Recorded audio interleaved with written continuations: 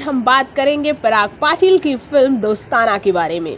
जी हाँ ये बहुत ही कम देखा गया है कि डायरेक्टर के नाम से फ़िल्मों को आका जाता है। भोजपुरी इंडस्ट्री में तो बिल्कुल भी नहीं देखा जाता क्योंकि जहाँ पवन खेसारी निरहुआ जैसे कलाकार हैं वहाँ डायरेक्टरों को कोई पूछता नहीं है। हाँ, लेकिन संघर्ष जैसी दमदार मूवी देने के बाद पराग पाटिल लोगों की निगाहों में आ गए हैं। और अब पराग पाटिल भोजपुरिया के वो डायरेक्टर बन गए हैं, जिनके साथ भोजपुरी का हर बड़ा कलाकार काम करना चाहता है। और ये अवसर मिला है काजल रागवानी को एक बार फिर और प्रदीप पांडे चिंटू को पहली बार। और अवधेश मिश्रा को भी। जी हाँ अब हम आपको बता दें कि ये फ़िल्म रिलीज़ हो गई है और छठ के मौके पर रिलीज़ हुई। इस फ़िल्म को शानदार ओपनिंग मिली है।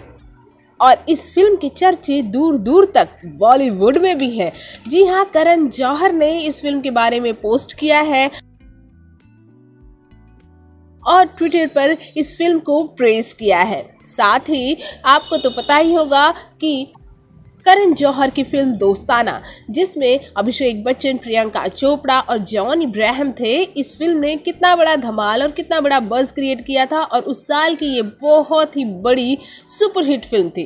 फिर उससे भी पहले दोस्ताना बनी थी अमिताभ बच्चन, शत्रुघ्न सिन्हा और जीना तमान को लेकर। और तब इस फ़िल्म को प्रोड्यूस किया था करण जौहर के ही पापा, यश जौहर ने। खैर, हम फिर से भोजपुरी इंडस्ट्री में वापस लौटते हैं और फिर हम वापस टॉपिक पर लौटते हैं और आपको बताते हैं कि किस तरह से बॉलीवुड में इस फ़िल्म को प्रेज मिल रही है, तारीफें मिल रही हैं।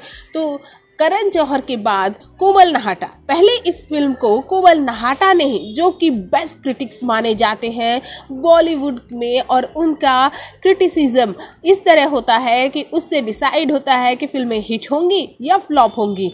फ़र्स्ट तो उन्होंने ही इस फ़िल्म को प्रेज़ किया और ट्विटर पर प्रेज़ किया। उसके बाद फिर उनके ट्वीट को रीट्वीट किया करण जौहर ने, और अब दोस्ताना को लोग ऑब्ज़र्व करने लगे हैं। जी हाँ जब बड़े बड़े लोग किसी फ़िल्म को, किसी भोजपुरी फ़िल्म को प्रेज करें तो आप समझ सकते हैं कि लोग तो ये समझेंगे कि बात कुछ है फ़िल्म में, तभी इतने बड़े लोग इस फ़िल्म की तारीफ़ कर रहे हैं। वैसे अगर आपने फ़िल्म नहीं देखी है तो जाइए देखिए, क्योंकि फ़िल्म पिता पुत्र के इस बेहतरीन रिश्ते को इस तरह दर्शाती है, क्योंकि यह फ़िल्म पिता पुत्र के रिलेशनशिप को तो दर्शाती ही दर्शाती है, लेकिन उन दोनों के बीच कितना प्यारा दोस्ताना है, इसे भी दर्शाती है। किस तरह पिता अपने पुत्र के लिए मायने रखता है, जब वो छोटा होता है, और किस तरह से फिर पुत्र के लिए पिता मायने रखता है जब वो वृद्ध होता है। पूरी तरह से एक सर्कल को किस तरह से मस्त तरीके से पिरोया गया है और आपको बता दें कि भोजपुरी इंडस्ट्री में पराग पाटिल जैसे जो निर्देशक है, उनकी फ़िल्मों में अश्लीलता आपको दूर दूर तक नहीं मिलेगी। तो आप ये फ़िल्म अपने परिवार के साथ बैठ कर देख सकते हैं। बिहार में इसे बहुत ही अच्छा रिस्पॉन्स मिला है।